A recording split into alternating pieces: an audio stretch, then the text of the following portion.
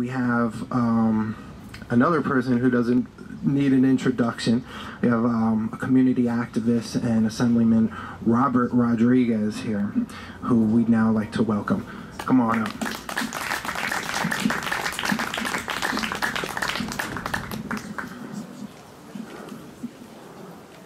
Good afternoon, everybody. I'd like to say thank you for having me. This is really an honor and a, a pleasure, and really a privilege. You know, having uh, read about Vito Marcantonio and certainly heard from those who, you know, were uh, alive when he served, he has been a tremendous leader and role model. And quite frankly, you know, as um, you know, being of Puerto Rican descent, born and raised in East Harlem, I would not have had the opportunity to serve the community that I love in this way if it were not for the leadership of Vito Marcantonio. I mean, when you think about historically what he has meant to the community of East Harlem, you know, he is by far, you know, one of the most beloved heroes of our community because of the way that he put the people of the community first. Not just Italian Americans, not just Puerto Rican Americans, not just African Americans. It was all the Americans that made up East Harlem.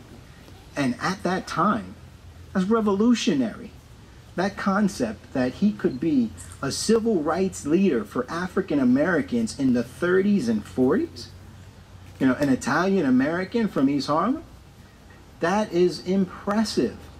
The fact that he stood up for all people of all walks of life not just made him tremendously popular in East Harlem, we loved him, but it gave him a platform nationally for people to remember what it is that we stand for as Americans. You know, being able to support the labor movement, being able to support freedom, being able to support self-determination.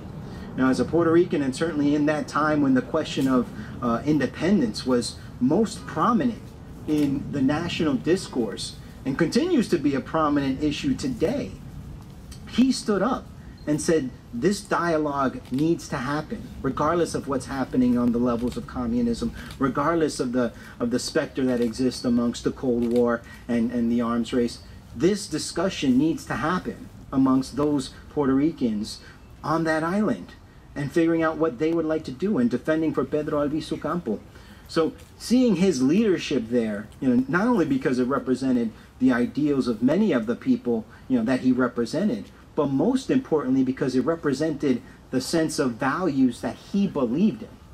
You know, they, those are the values that, you know, as an elected representative today, you know, our, our foundations and values are built upon some of those thinking. And what I think is most impressive is when you talk about Vito Marcantonio, you know, initially uh, elected as a Republican, then uh, as a member of the American Labor Party. How many people know that what party that is? It doesn't exist, but he was the only one elected to Congress six times in that party. Unheard of. A, a leader, a hero, a role model, an inspiration. So it's really my pleasure, privilege, and honor to be here to present this proclamation to the members of, of the foundation, please, uh, commemorating you know, his accomplishments and his life and, and his legacy on the 60th anniversary of, of, his, of his passing. So thank you.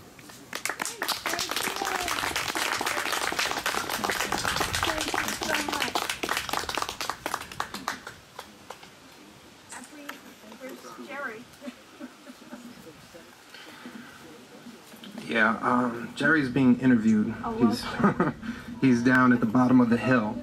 So uh, let's just pause for a picture. Come on this side. show Vito's tombstone? Yeah. Yeah, I want We're, we're, Mark, we're in front of you. Yeah.